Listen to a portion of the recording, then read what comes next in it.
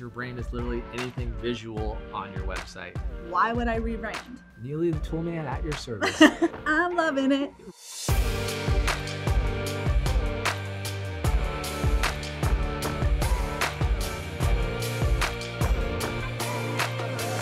Welcome to the journey. Today we're going to give you some great ideas for rebranding your website.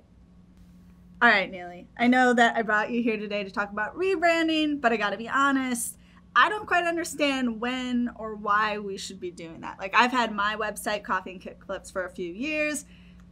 I love the way it looks. Like the brand is consistent across all my sites. Why would I rebrand? yeah, there's a lot of different reasons why we may rebrand. Some of us have built our sites years back, right? And maybe it's time to put a, just a fresh coat of paint on the house, as I like to call, right? yeah. So that, that that rebrand of your website can really increase the perceived professionalism for your business and for your brand.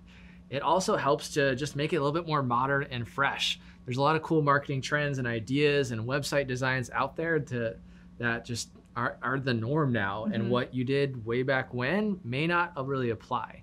And you also want to make sure that your site's responsive and it looks good on mobile because everyone's on mobile, right? Absolutely. So those are some of the, the biggest reasons why that you'll you'll really want to rebrand your website this year. all right. So I put a lot of time. I you have put a lot of energy and money into this. right. Where do I start when it comes to rebranding? Yeah, to understand what your brand is, your brand is literally anything visual on your website.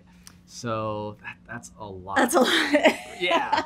So I just realized that when you said that. Yeah. So we're talking social media. Oh, my merchandise. merchandise, website, logo, all that Font. stuff. Just anything your your customers see on your site. Mhm. First step, we got to create what's called a style guide.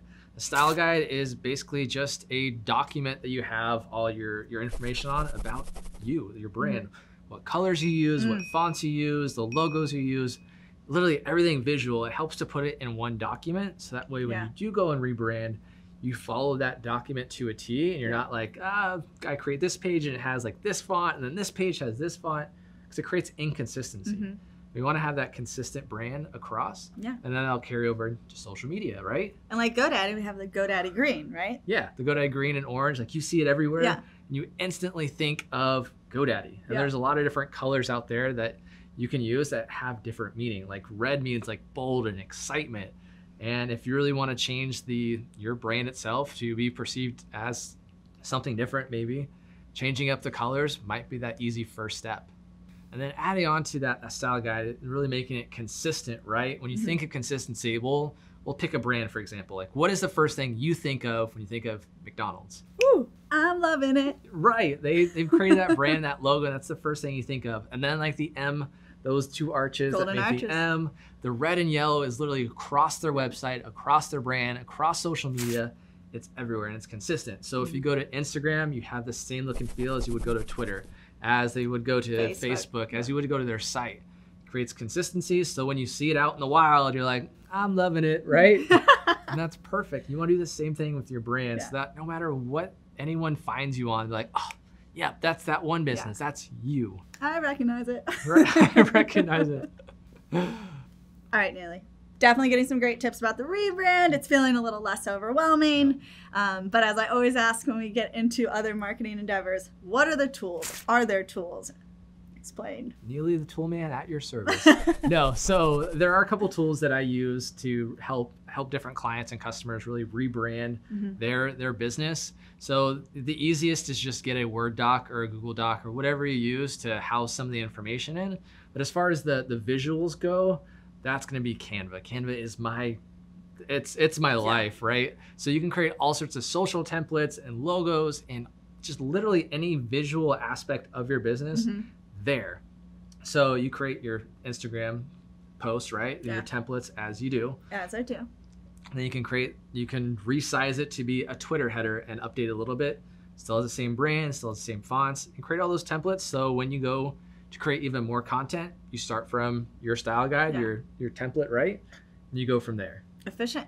All right, Emma. So another thing that I tell my clients is you have to be intentional with your rebrand. Mm. Don't just rebrand because it's a new year, new you, right? It's a I say the same thing about social media posting. Don't just post because you haven't posted in a week. Right. It's got to be intentional. It's got to Mhm. be thought provoking and it has to be for a reason. Mm-hmm. So that rebrand is really if you want to and elevate your brand, elevate your professionalism, maybe change how you're perceived in the world. You want to be known as uh, a green company that really gives back to their environment. So maybe they'll update your logos and your colors, your brands to be green, right? Because that's really that symbol for it. Or if you want your Yeah. your business, your brand to be exciting, maybe look into some yellows on your site and putting some yellows into your brand because color is super important. Same thing with the fonts you use. You don't want to just use the same old boring fonts. If you go to google.com slash fonts, there's an entire library of free fonts that you can use for your site and get some cool little variations that really, really make your brand stand out. So many things to think about. Right. All right, that's all we have for you on some great ideas to rebrand your website. And we'd love to know if you have any other ideas or what you plan on doing. Let us know in the comments below. Also, be sure to like the video, share it. There's other businesses out there with very similar questions. Maybe they're going through a rebrand dilemma. Also, be sure to subscribe and ring that bell so you'll be the first to know when we have another video out. This is The Journey.